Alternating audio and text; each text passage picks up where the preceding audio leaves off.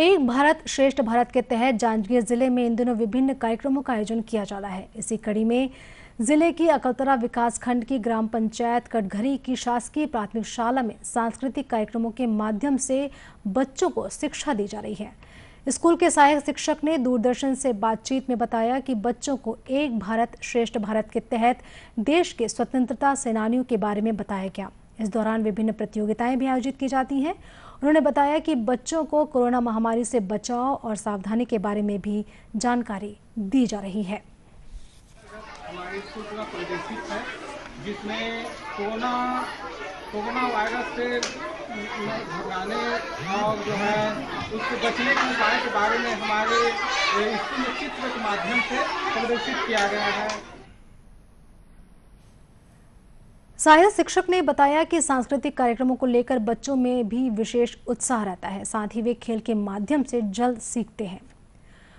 आज शारदीय नवरात्र का तीसरा दिन है। आज के दिन माँ चंद्रघंटा की पूजा का विधान है, लेकिन इस बार नवरात्रि आठ दिन की है। इसलिए माँ कुष्मांडा की पूजा भी आज की जा रही है।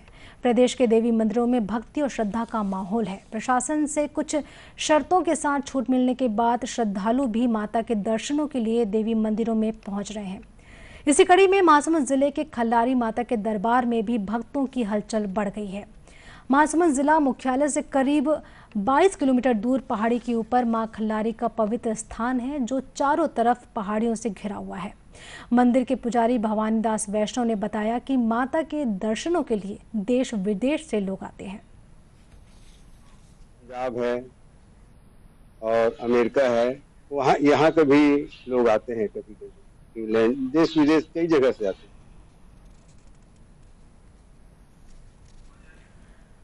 वहीं माँ खलारी ट्रस्ट के कोषाध्यक्ष सुरेश चंद्राकर ने बताया कि कोरोना महामारी के कारण प्रशासन से जारी दिशा निर्देशों का पालन किया जा रहा है और उसी के अनुरूप सारी व्यवस्थाएँ की गई हैं।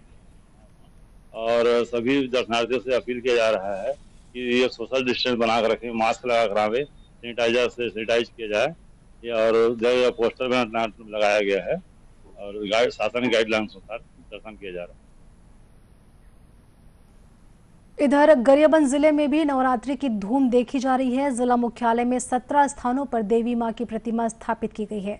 देवी मंदिरों और प्रतिमा पंडालों में रंग बिरंगे प्रकाश के झालरों के साथ पहुँच मार्गों पर विशेष साज सज्जा की गई है।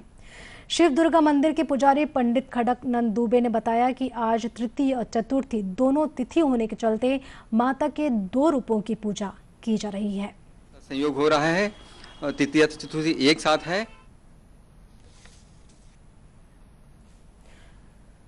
वहीं शीतला मंदिर और गांधी मैदान में बिराजी माँ दुर्गा उत्सव समिति के सदस्य राजेश साहू ने बताया कि कोरोना से बचाव के लिए दिए गए दिशा निर्देशों का पालन करते हुए गरबा, मीना बाज़ार, जगराता, भजन संध्या सहित अन्य कार्यक्रमों का आयोजन किया जा रहा है। पिछले बार देखने को नहीं मिल पाया था, पर इस बार लोगों में बहुत उत्साह है, लोगों ने बहुत अच्छे पंडाल बनाए हैं, लोगों में उत्साह के साथ में कार्यक्रम भी हर पंडालों में किया जा रहा है। जगराते का कार्यक्रम है, कहीं डांडिया का कार्यक्रम है, कहीं मीना बाज़ार लगाया जा रहा है, कहीं जादू के कार्यक्रम किए जा रहे हैं।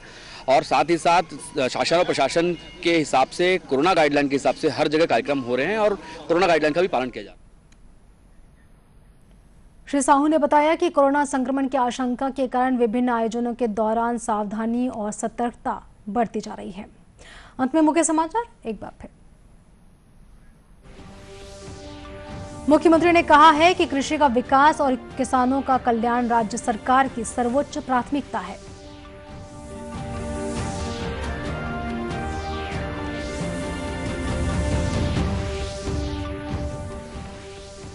प्रदेश के राहत आयुक्त ने कोरोना महामारी से मृत व्यक्तियों के परिजनों, आश्रितों को राज्य आपदा विमोचन निधि से पचास हज़ार रूपए की आर्थिक अनुदान सहायता देने के संबंध में दिशा निर्देश जारी किए।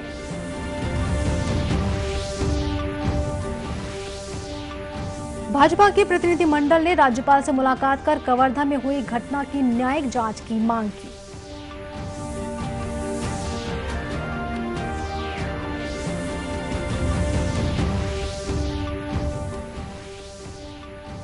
और भिलाई इस्पात संयंत्र युद्धपोत और जहाजों के निर्माण में इस्तेमाल होने वाली विशेष तरह की प्लेटों का भी कर रहा है निर्माण।